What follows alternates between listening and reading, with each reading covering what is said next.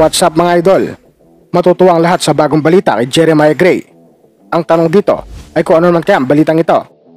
Pero bago mo sana ipagpatuloy ang panonood mo, huwag mo sana kalimutan mag-subscribe bilang suporta sa aking YouTube channel. Maraming salamat idol!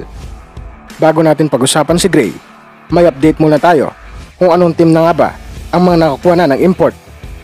Ang Miracle Bolts ay kumuha ng isang NBA veteran. Mukhang seryoso talaga sila sa susunod na conference at gusto talaga nila makuha ang kampyonato.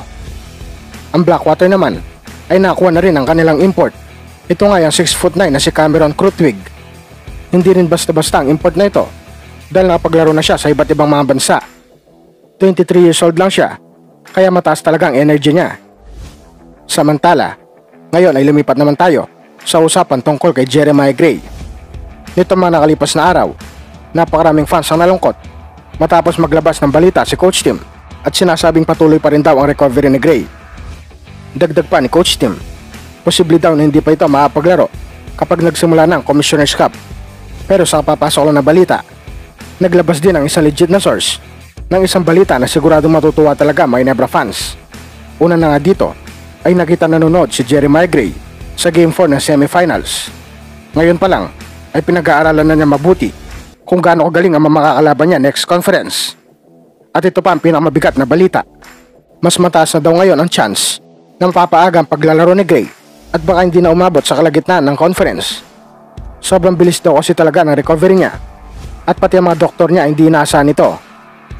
Pero sa tingin ko naman, kahit gaano pa kabilis siya makarecover, sana iwag mo na siyang gamitin agad. Ayos lang din naman, kahit wag na muna siyang paglaruin sa buong Commissioner's Cup at subukan na lang siyang ipasok sa susunod na conference. At least sa Governor's Cup, sigurado na 100% ang healthy niya at hindi na mag-aalala ang Ginebra na baka mabalikan lang siya ng injury. Sa ngayon, nandiyan naman ang super import nila na si Justin Brownlee na talagang kakayod para sa Barangay Ginebra alam naman natin ang player na ito, nakapag Commissioner's Cup na, kahit malaki ang mga nakakalaban niyang import, ay hindi talaga siya umatras. Kung di ako nagkakamali, bago niya nakuha ang Best Import Award last conference, nauna na siya nakakuha ng Best Import Award sa Commissioner's Cup. Patunay lang ito na kahit mas malit siya sa mga kalaban niyang import, nangingibabaw pa rin talaga ang galing niya. Kaya sa tingin ko, hindi pa naman masyadong kailangan si Gray ngayon. Mas maganda kung magpahinga na lang muna siya Napansin nyo rin siguro na mas maganda talaga nilalaro ng Hinebra kapag kasama na nila si Justin Brownlee. Hindi man siguradong champion sila sa susunod na conference. Pero at least ngayon ay may tutulong na sa kanila ng isang player na proven na talaga ang husay at galing niya. Kaya naman kung ikaw ang tatanungin idol, ano masasabi mo sa balitang ito?